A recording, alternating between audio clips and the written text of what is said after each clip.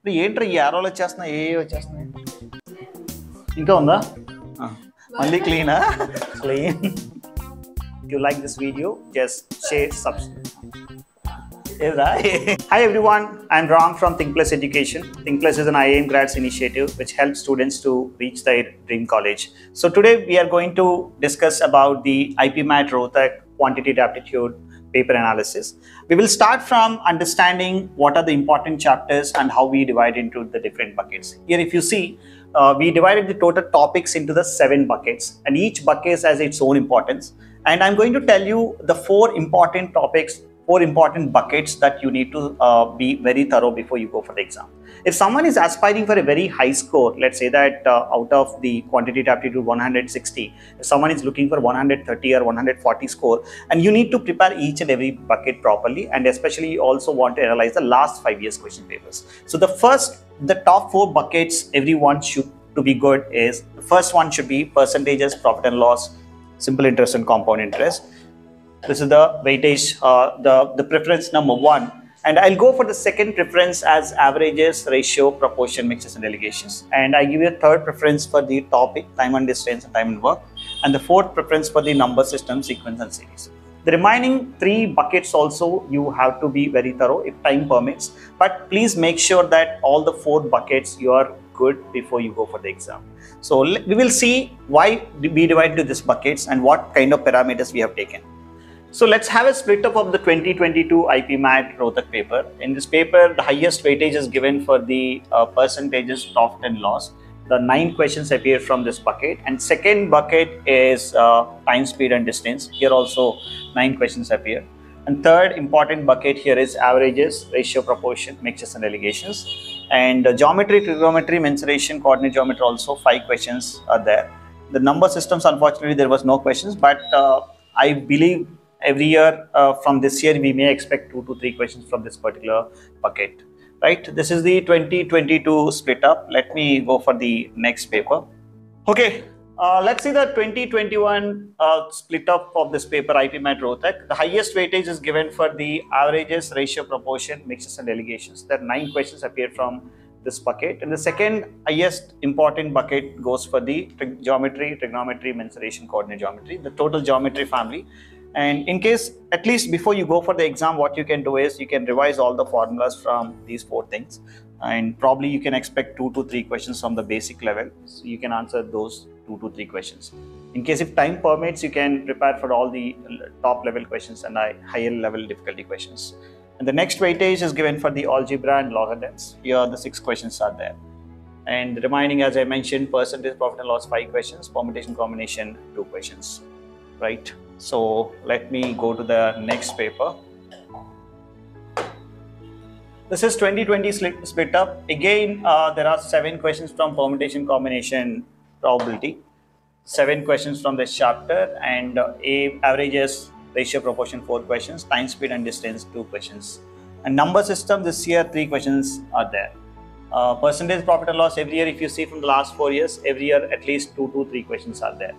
This is the split up of 2020. So based on all these papers, if you see that what could be the right kind of uh, split up, this is the 2019. I'm not taking much time. Again, the highest number of questions are given from the percentage profit and loss, and the second is time and speed and distance, geometry family.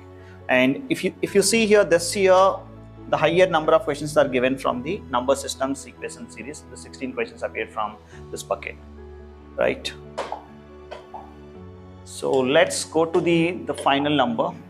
The finally, based on the last four years of question papers, we are dividing, uh, we have divided into seven buckets. Out of these buckets, on an average, the number of questions appearing from these seven buckets are this. The first is percentage profit and loss SICI. You see there five to seven questions appeared from that, that bucket. And the next highest bucket goes for the averages, ratio, proportion, variation, mixes, and alligations. And the next highest bucket is the time, speed, and distance, time and work. And then next geometry family. And uh, the number systems, sometimes they are giving very high number of questions, sometimes they're giving very low number. But on, an average, you can expect two to five questions from this bucket. The remaining things also fine. And if someone is from the non-mathematics background, as I mentioned earlier, focus on focus on these four buckets: the percentage profit and loss, average ratio proportion variation, time, speed, and distance, and then uh, number system. If, if someone is from the mathematics background, obviously this is the edge for you. These things you already have learned something at the intermediate level, so you can take uh, you can take it as an advantage. And please make sure that all the formulas you are revising before you go for the exam. So let's have a look at the original IPMAT Rohtak 2022 question. So before you start solving the question, understand and look thinking about whether you're get, getting the proper idea for the question or, or not. If you're not getting the proper idea, stop solving the question and come in the second round or third round. The first round of the paper while solving in the exam hall, you should solve the questions which you can get the answers immediately. Here, a dishonest dealer prefers to sell his goods at the cost price. Cost price means let's say that I bought 1000 grams at 1000 rupees. I bought 1000 grams at 1000 rupees. This is my cost price of 1000 grams. But I'm selling 1000 minus x grams at 1000 rupees. Okay, so I'm selling 1000 minus x grams at 1000 rupees. Obviously, I'm giving giving x grams less. That x grams would be become profit. Otherwise, this 1000 minus x grams I'm selling at 1000 rupees means this is the selling price of 1000 minus x grams. But actual cost price of 1000 minus x grams would be 1000 minus x rupees only. As per the 1000 grams, 1000 rupees means 1 gram, 1 rupee. 1000 minus x grams, 1000 minus. This is the cost price. We know the cost price of 1000 minus x. We know the selling price of 1000 minus x. The difference is the profit. The profit difference is here is x is the difference. By cost price, cost price means 1000 minus x. x by 1000 minus x is the the profit percentage. If you multiply with 100, you'll get the percentage. But here 4 1 by 6 percent is given. I'll convert into fraction. 4 1 by 6 percentage is 25 by 4 1 by 6 I write here. This is 25 by 6 percentage means into 100. This is fractional value is 1 by 24. So if you solve this 24 x is equal to 1000 minus x and 25 x is equal to 1000 x is equal to 40. That means you are giving 40 grams less. 40 grams less means you are giving 960 grams. This is one way of solving this question. Let's have a look at the other approach, the alternative approach to solve this question in the exam hall. In the exam hall, I do solve this question this way. Let me go to the next slide.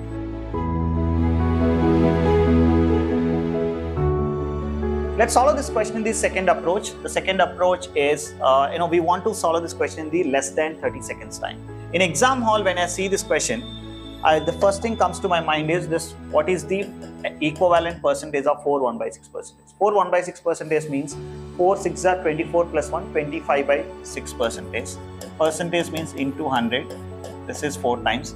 I'm getting 1 by 24 as the fractional value. So 1 by 24 means for every 24 grams every 24 rupees or every 24 grams i'm getting 1 gram as uh, profit. So this is profit. This is cost price profit plus cost price would give a selling price. So here profit is one part, cost price is 24 parts, total 25 parts. This 25 parts is nothing but 1000 grams. I want denominator. Denominator 24 grams is 960. Okay. Sometimes even without solving this, I will do in this way. 4 1 by 6 percentage is nothing but 1 by 24. I'll see that which of the numbers are 24 multiples. 950 is not 24 multiple, 980 is not 24 multiple, 840 is not 24 multiple, 960 is a 24 multiple. We'll take a small example here. Let's take a, a random percentage. I'm taking that 11.11 uh, percentage profit. In the same question, I'm just changing this number to 11.11 percentage. If this is 11.11 percentage, if this is 11.11 percentage, 1 by 9 means 1 by 9 means 9 parts is the cost price, 1 part is the selling price. Total how many parts? 10 parts. 9 parts is the cost price, 1 part is the selling price. Okay. So total 10 parts is 1000. Denominator is your answer. 9 parts means how much? 900 grams. You can do one more question. I'll give you one more percentage. Just give it a try. Here I'm doing for 11.11 percentage. 11.11 percent fractional value is 1 by 9. Means if 9 parts is the cost price, 1 part is the profit. Together will give you the selling price. Let's assume that 1000 is the total selling price. That means 1 part plus 9. Total 10 parts value is 1000. If 10 parts is 1000, what is the one part value? One part is 100. That means he's giving 100 grams less. You can do one more question for an example. Let's say that I'm giving 25 percentage. If 25 percentage is the in this place, if 25 percent is there, how do you do? And what is the answer? Just comment in the chat box. So that's it for this class. It is all about the IPMAT quantitative aptitude uh, paper analysis. If you like this video, please share and subscribe. Thank you.